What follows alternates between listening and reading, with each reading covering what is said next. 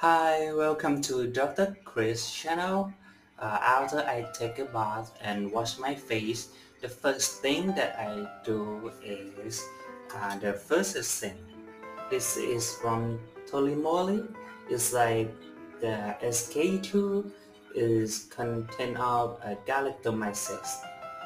94.5% from Korea. Uh, somebody think that is not the same as SK2 it just uh, like it just similar. I apply it before I uh, apply the cream or the sunscreen. And the second thing that I do is uh, use the lip balm to moisturize my lips